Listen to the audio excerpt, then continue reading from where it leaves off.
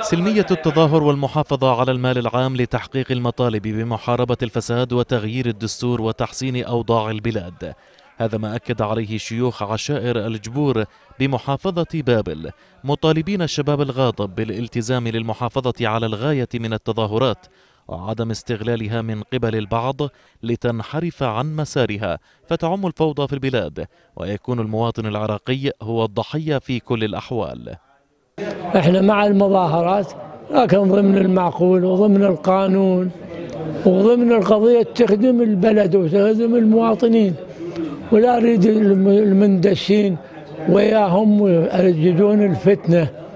هذا يضرب وهذا يقتل وهذا يسوي كذا. فإحنا نريد حذرهم من هاي القضية ولا تخريب قضية ولا إحراق قضية ولا قتل أي بجون من المجتمع من العراقيين. إحنا ما نوافق على هذا الموضوع وإحنا وياهم شايلين اصابعنا على الحق وغيره ماكو.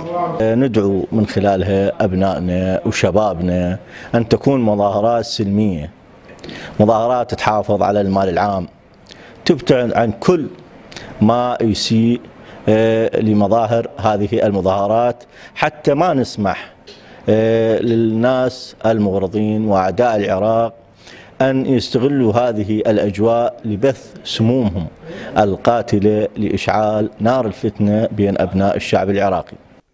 آخرون طالبوا المتظاهرين بالمحافظة على دماء العراقيين مؤكدين وقوفهم مع مطالبهم المشروعة وخروجهم معهم. لا نقبل بجرح اي أي واحد من القوات الأمنية لو قطره دم. ونفس الوقت ما نقبل على المتظاهرين.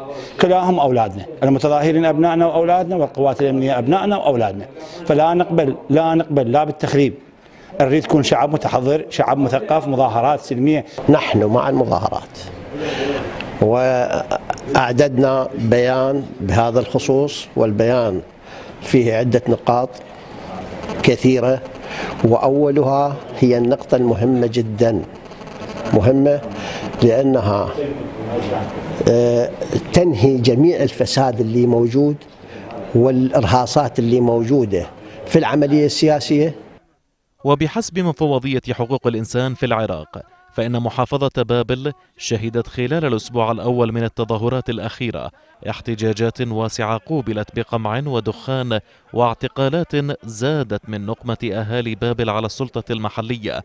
وما أجج الوضع المقطع الصوتي الذي سرب لرئيس مجلس محافظة بابل والذي تضمن تجديده على القوات الأمنية بضرب المتظاهرين ورشهم بالماء الحار لتفريقهم.